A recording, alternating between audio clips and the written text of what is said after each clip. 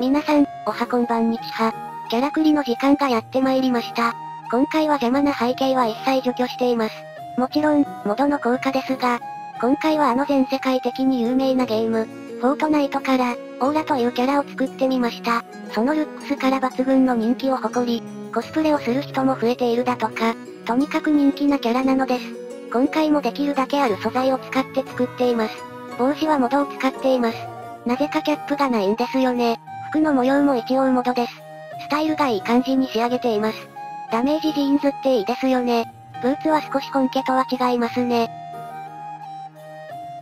なるべく変なバグが起きないようにやっているのですが、こういうゲームにはバグがつきものでして、多めに見てやってください。にしても、かなりの完成度だと思いませんか少し肌に寄ってみます。きめ細かいですね。一応最高画質で作っているのですが、どうしても変換時に画質が落ちてしまうんですよね。ああ、触りたい。そう思ったのではないでしょうか。横顔も美人ですね。もっとリアルにする方法があれば教えてください。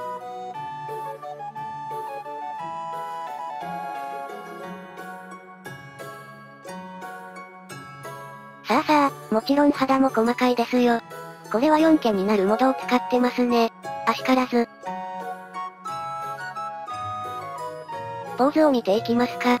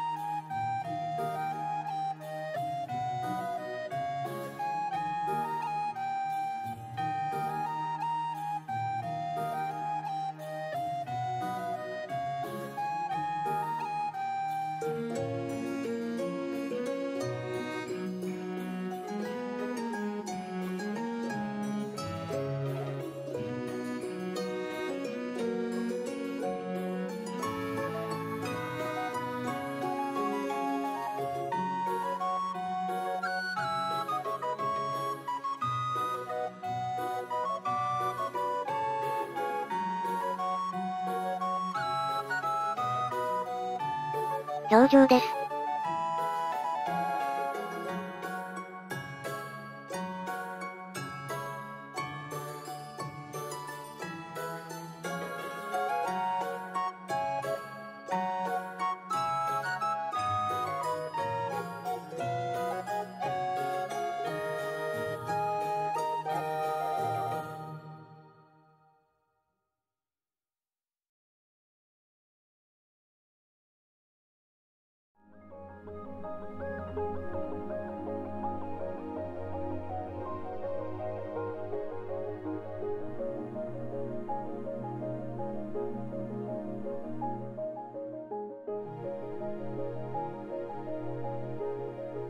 バインバインですね。この子になら託所で撃たれたいですね。すみません。